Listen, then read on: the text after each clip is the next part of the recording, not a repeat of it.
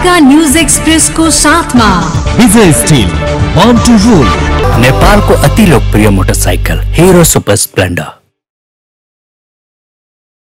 Vijay cement तपाईँको सपनाको मजबुत निर्माण।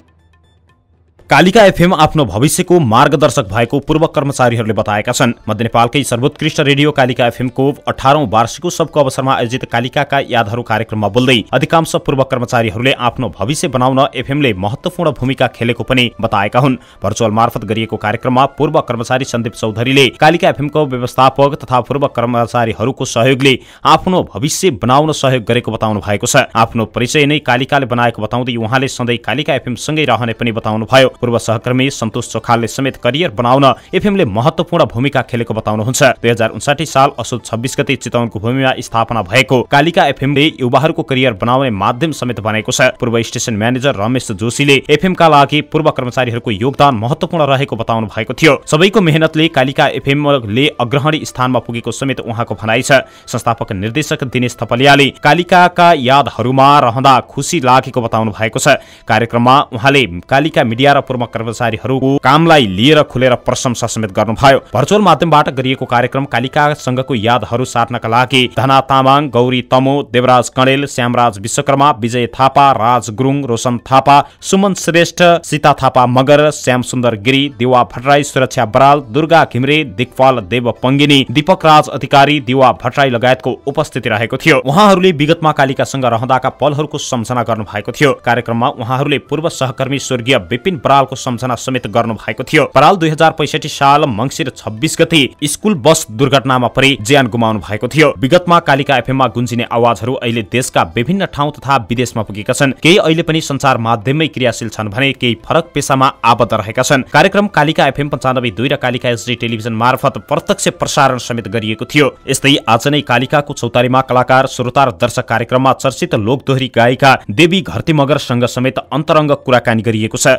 कालिका एफएमको वार्षिकोत्सवको अवसरमा हरेक वर्ष आयोजना गरिने लोक दोहोरी तथा सांस्कृतिक महोत्सव यो वर्ष नहुने भएपछि कलाकार श्रोता र दर्शक कार्यक्रम मार्फत विभिन्न कलाकारसँग अन्तरङ्ग कुराकानी गरिएको छ। यो वर्ष कोरोना महामारीका कारण विभिन्न कार्यक्रमहरू भर्चुअल माध्यमबाटै सञ्चालन गरिएको हो। नेपालमा कोरोना भाइरस संक्रमितको संख्या बयासी हजार चार सय पचास जना पुगेको छ। गएको चौबिस घण्टामा दुई हजार सात सय बाइस जनामा कोरोना भाइरसको संक्रमण पुष्टि भएको स्वास्थ्य तथा जनसङ्ख्या मन्त्रालयले जानकारी दिएको छ। पछिल्लो चौबिस घण्टामा चौध हजार सात सय बाइस जनाको नमुना परीक्षण गर्दा सत्ताइस सय बाइस जनामा संक्रमण देखिएको हो।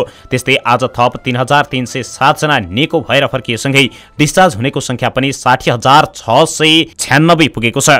आज डिस्चार्ज भएका र संक्रमण पुष्टि भएकाको संख्या अहिलेसम्मकै धेरै रहेको छ। अब नेपालमा एक्काइस हजार दुई सय चौतिसजना सक्रिय संक्रमित आइसोलेसनमा रहेका छन्। यस्तै चार हजार आठ सय पचासीजना क्वारेन्टिनमा रहेको मन्त्रालयले जनाएको छ। गएको चौबिस घण्टामा एघार जनाको ज्यान गएसँगै कोरोना संक्रमणबाट ज्यान गुमाउनेको संख्या पनि पाँच सय बिसजना पुगेको मन्त्रालयका प्रवक्ता डाक्टर जागेश्वर गौतमले जानकारी दिनुभएको छ।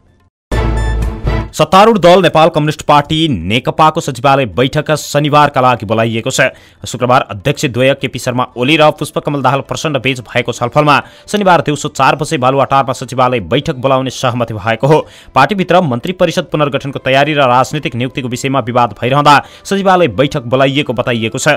प्रधानमन्त्री समेत रहनुभएका पार्टी अध्यक्ष प्रधानमन्त्री ओलीले पार्टीमा छलफल नै नगरी मुख्य सचिव सहित तीन देशमा राजदूत नियुक्ति गरिएको भन्दै नेकपाका शीर्ष नेताहरू असन्तुष्ट सन्तुष्ट बनेका छन्। यसअघि स्थायी कमिटी निर्णय र सचिवालयको छलफल अनुसार राजनीतिक नियुक्ति र मन्त्री परिषद पुनर्गठनका लागि ठोस मापदण्ड बनाउने विषयमा पार्टीका कार्यकारी अध्यक्ष पुष्पकमल दाहाल प्रचण्डसँग पनि छलफल चलिरहेकै बेला प्रधानमन्त्री ओलीले राजनीतिक नियुक्ति सम्बन्धी महत्वपूर्ण निर्णय एकलौटी गरेको भन्दै नेताहरू असन्तुष्ट बनेका हुन्। सरकारले बिहिबार शङ्करदास बैरागीलाई मुख्य सचिव नियुक्त गरेको थियो। यस्तै पूर्व अर्थमन्त्री युवराज खतिवड़ालाई अमेरिका तथा निवर्तमान मुख्य सचिव लोकदर्शन रेग्मीलाई बेलायत र कपिल वस्तुका डाक्टर निर्मल कुमार विश्वकर्मालाई दक्षिण अफ्रिकाको लागि राजदूतमा सिफारिस गरिएको छ। यस्तै उता फरक प्रसङ्गमा सत्तारूढ दल नेपाल कम्युनिस्ट पार्टी नेकपाका उपाध्यक्ष वामदेव गौतमलाई राष्ट्रिय सभामा मनोनित गर्ने निर्णय विरुद्ध परेको रिटलाई फेरि पनि हेर्दा हेर्दैमा राखिएको छ सर्वोच्च अदालतका प्रवक्ता भद्रकाली पोखरेलले गौतमसँग सम्बन्धित रिटमा अब बुधबार मात्रै सर्वोच्चमा सुनवाई हुने भएको जानकारी दिनुभएको छ। गृहमन्त्री रामबहादुर थापा बादलले बाढी पहिरोबाट प्रभावित नागरिकहरूको व्यवस्थापनमा हिउँदसम्ममा गरिसक्ने बताउनु भएको छ। अस्थायी रूपमै भए पनि सिन्धुपाल्चोक बागलुङ कालीकोट लगायतका देशैभरि नै बाढी पहिरोबाट प्रभावित नागरिकहरूको व्यवस्थापन छिट्टै गरिने उहाँले बताउनु भएको हो। सिन्धुपाल्चोकका प्रतिनिधिहरूसँगको भेटमा गृहमन्त्री थापाले हिउँद सुरु हुनु अगाडि नै पालमा बसेका नागरिकहरूको व्यवस्थापन गरिने बताउनुभयो। जिल्ला समन्वय समिति सिन्धुपाल्चोकका प्रमुख गोपाल तामाङले जिल्लाका विभिन्न स्थानमा गरी अहिले तीन बस्ती जोखिममा परेको बताउनु भएको छ। यो वर्ष मानवीय भौतिक क्षति भएका समेत गरी तीन सय एकाउन्न बस्तीका छ हजार पाँच सय एकहत्तर परिवार जोखिममा रहेको पनि उहाँले बताउनु भएको छ। जिल्लाका अठारवटा बस्तीहरू अति जोखिममा रहेकाले आगामी बर्खा सुरु नहुँदै सार्नुपर्ने अवस्था रहेको पनि उहाँले बताउनु भएको छ। यो वर्षको असार चौबिस गतेबाट भदौ सत्ताइस गतेसम्म एक सय तेह्र गरी विगत पाँच वर्षमा सिन्धुपाल्चोकमा प्राकृतिक विपदबाट तीन हजार आठ सय बयासी जनाले ज्यान गुमाएका छन्। सत्र सय सत्तरी जना घाइते भएका छन् भने पचपन्न करोड बयासी लाख भन्दा बढीको आर्थिक क्षति भएको छ। गत असार चौबिस गते बाह्रविसे नगरपालिका पाँच जबमु र खागदमा गएको पहिरोमा परि एक्काइस जना र साउन बिस गते जुगल र लिलीमा गएको पहिरोमा परि उन्चालिस जना तथा बाह्रविसे सातको भिर खर्क र नागपुचेमा एकतिस जनाको मृत्यु भएको थियो। यो वर्ष देशभरिका विभिन्न स्थानमा बाढी पहिरोले निकै ठूलो क्षति भएको छ। पूर्व राष्ट्रपति रामवरण यादवले त्रिवी शिक्षण अस्पतालमा अनसनरत डाक्टर गोविन्द केसीलाई भेट गरी स्वास्थ्य अवस्था बुझ्नु भएको छ। केसीको स्वास्थ्य अवस्था बुझ्न पूर्व राष्ट्रपति यादव शुक्रबार त्रिवी शिक्षण अस्पतालमा पुग्नु भएको हो। डाक्टर केसीलाई भेटेपछि पत्रकारहरूसँग कुरा गर्दै पूर्व राष्ट्रपति यादवले चिकित्सा शिक्षा सुधारको लागि जायज माग राखी सत्याग्रह गर्नुभएका डाक्टर केसी जनताको माग उठाएकाले वार्ता मार्फत समस्या समाधान गर्न सरकारले छिट्टै पहल गर्ने विश्वास व्यक्त गर्नु भएको छ। डाक्टर केसीले राख्दै आउनुभएका मागहरू पूरा हुने चरणमा रहेको सरकारले बताइ सकेको अवस्थामा तत्काल वार्ताको वातावरण निर्माण गरी समस्या समाधान गर्न पनि आग्रह गर्नु भएको छ। आफ्नो ज्यानको प्रवाह नगरी सत्याग्रह मार्फत जनताको मागलाई उठाउँदै आएकाले डाक्टर केसी राष्ट्रको सम्पत्तिको रूपमा रहनु भएको टिप्पणी समेत पूर्व राष्ट्रपति यादवले गर्नु भएको छ। यस्तै उता चिकित्सा शिक्षा र स्वास्थ्य क्षेत्रका सुधारको माग राखेर अन्तर्गत डाक्टर गोविन्द केसीको समर्थनमा वीरगञ्जमा धरना तथा प्रदर्शन गरिएको छ। डाक्टर केसीको उन्नाइसौँ सत्याग्रहको समर्थनमा समर्थकहरूले डाक्टर केसीको जीवन रक्षाको माग गर्दै उनले उठाएका जायज मागहरू सम्बोधन गर्न पनि दबाब दिने उद्देश्यले आज वीरगञ्जमा धरना तथा प्रदर्शन गरेको बताएका छन्। संसदीय समितिले फरक रूपले सबल अपाङ्गता भएका महिलाहरूको संरक्षण हुने गरी कोभिड नाइन्टिनको प्रतिकार्य सम्पादनका लागि समेत सरकारलाई निर्देशन दिएको छ। कोभिडले अपाङ्गता भएका महिलाहरूको रोजगारी र आय आर्जनमा देखिएको समस्याले दैनिक जीवनयापनमा भएको असहजताको सम्बोधन गर्न समितिले निर्देशन दिएको हो।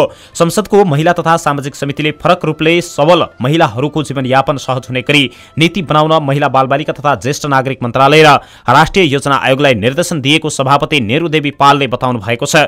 तीनवटै तहले प्रभावकारी समन्वय गरी त्यस्ता महिलाहरूको बृहत्तर हित प्रवर्धन र संरक्षण हुने गरी कोभिड प्रतिकार्यमा काम सम्पादन गर्न पनि समितिले निर्देशन दिएको हो। विक्रमसम्म दुई हजार अडसठीको जनगणना अनुसार एक दशमलव चौरानब्बे प्रतिशत अपाङ्गता भएका व्यक्तिहरू रहेकोमा कोभिडका कारण त्यो समूहभित्र पर्ने महिलाहरू बढी प्रभावित भएको समितिको ठहर रहेको छ। चितौनमा थप दुईजना कोरोना संक्रमितको मृत्यु भएको छ। राप्ती नगरपालिका वडा नम्बर एघारका पचपन्न वर्षीय पुरुष र भरतपुर अस्पतालमा उपचाररत हेटौँडा उपमहानगरपालिकाका वडा नम्बर सात न्युरेनीका अठहत्तर वर्षीय पुरुषको मृत्यु भएको हो। हेटौँडाका अठहत्तर वर्षीय पुरुषको आज बिहान मृत्यु भएको हो भने श्वास प्रश्वास र निमोनियाको समस्या देखिएपछि चितौन मेडिकल कलेजमा भर्ना हुनुभएका उहाँलाई हिजो राति दस बजे भरतपुर अस्पतालमा रेफर गरिएको थियो। बिहिबार नै उनमा कोरोना पुष्टि भएको थियो। उहाँ उनको स्वास्थ्य अवस्था जटिल हुँदै गएपछि भेन्टिलेटरमा राखेर उपचार गरिएको बताइएको छ। यस्तै क्यान्सर समेत रहेका राप्तीका पचपन्न वर्षीय संक्रमितको पनि गैराती मृत्यु भएको छ। राप्ती नगर प्रमुख प्रभा बरालका अनुसार क्यान्सरको समस्याका कारण अस्पतालमा भर्ना भएका ती पुरुषलाई अन्तिम अवस्था जनाउँदै अस्पतालले बुधबार घर फटाएको थियो। मृत्युपछि आएको पिसिआर नतिजामा ती पुरुषमा कोरोनाको संक्रमण पोजिटिभ भएको हो। यो सँगै चितौनका मात्रै बाइस जनाको कोरोना संक्रमणबाट मृत्यु भएको छ। का न्यूज एक्सप्रेसको साथमा विजय स्टिल टू रूल नेपालको अति लोकप्रिय motorcycle Hero super Splendor Vijaya cement तपाईँको सपनाको मजबुत